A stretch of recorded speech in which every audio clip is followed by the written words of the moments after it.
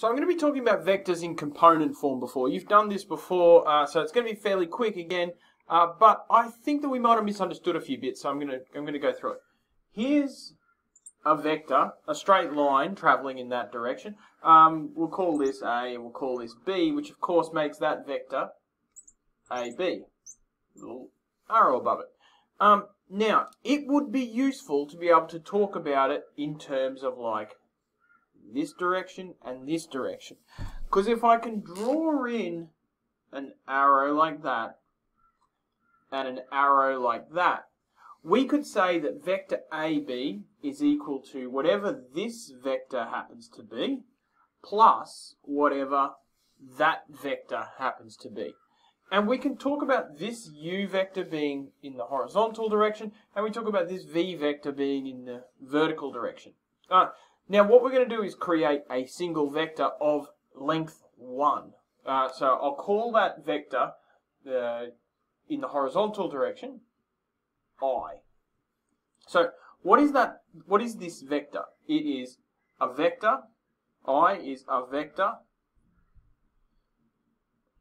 Unit 1 length horizontal direction.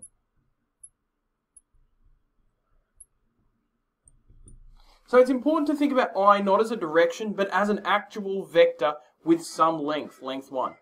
Now, similarly, we can call uh, this vector j, and that's a vector, unit 1 length, in the vertical direction.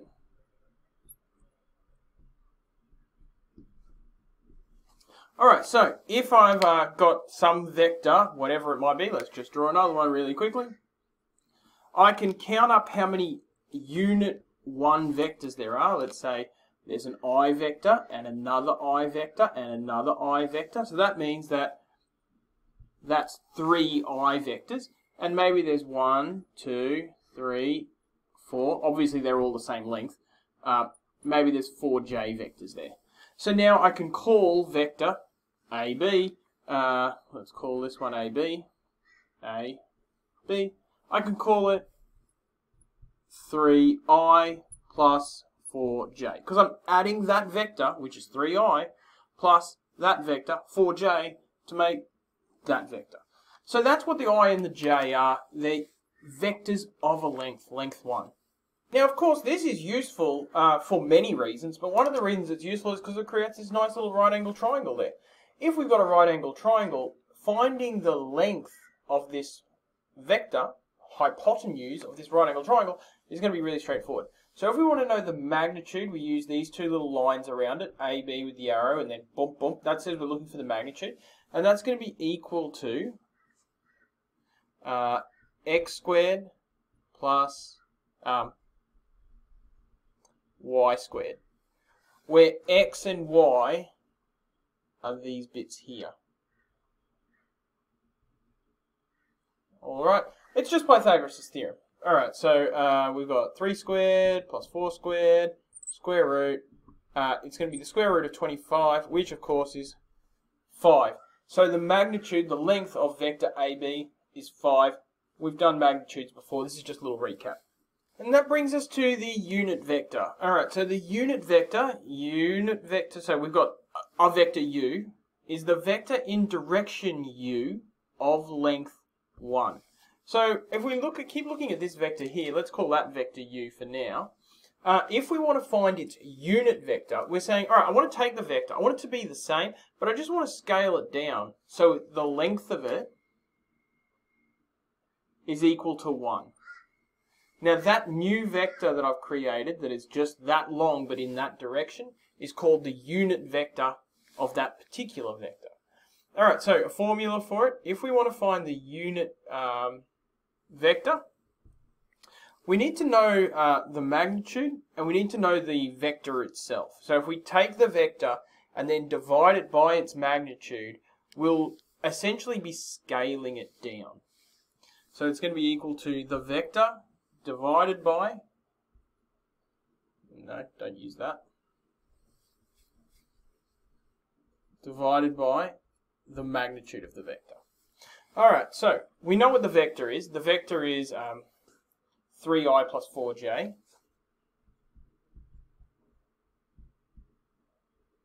And then we're going to divide by the magnitude of the vector, which we've already calculated here.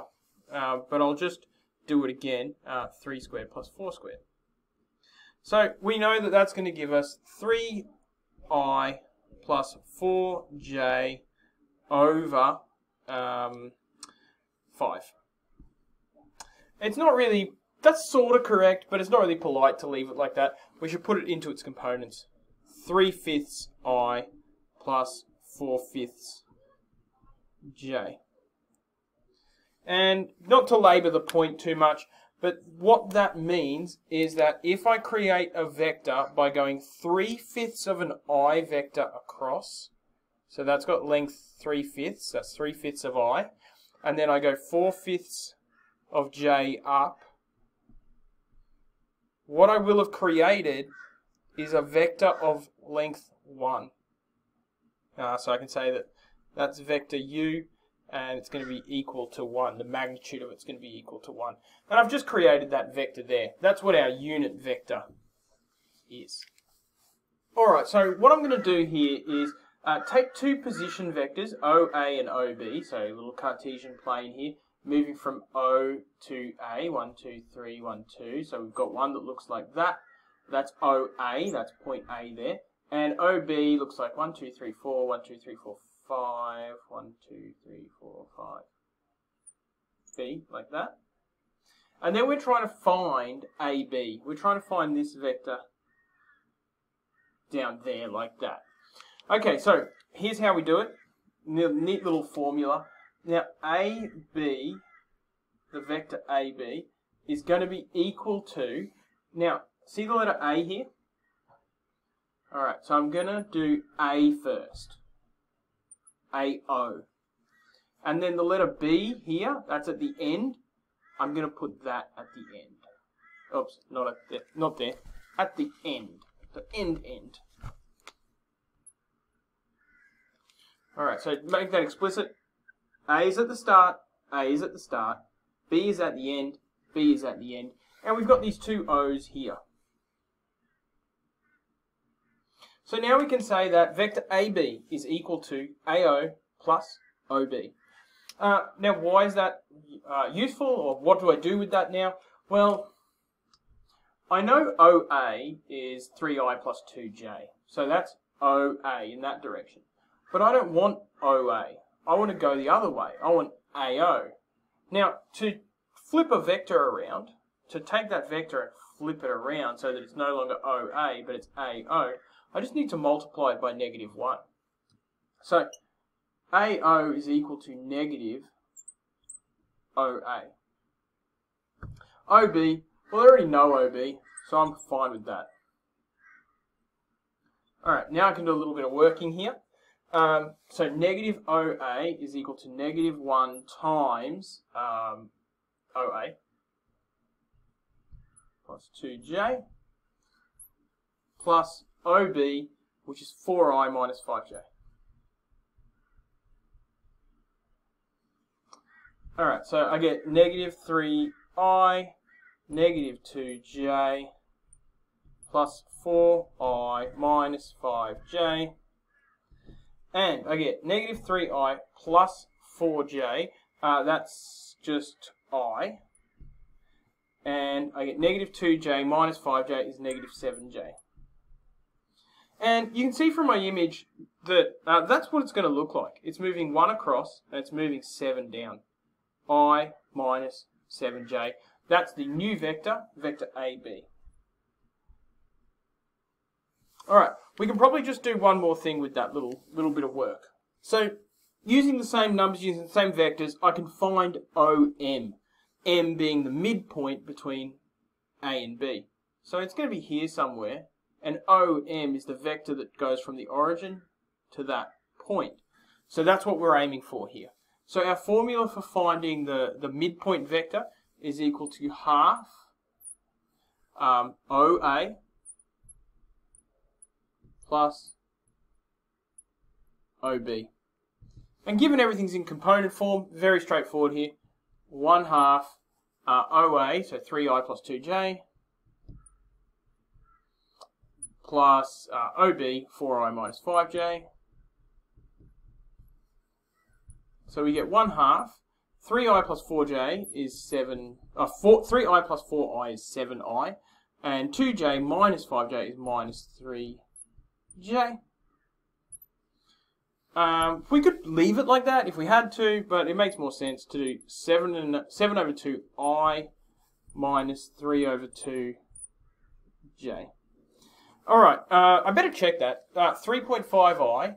So it looks like I'm moving about 3.5 across, because uh, that was 3 and that was 4, so about 3.5, that makes sense. Um, and then negative 3 over 2, move out of the way a little bit, negative 3 over 2j.